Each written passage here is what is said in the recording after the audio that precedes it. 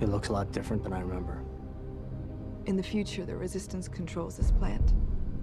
Battle of Avila Beach, December 8, 2026. Humans regain control of Serrano Point from Skynet.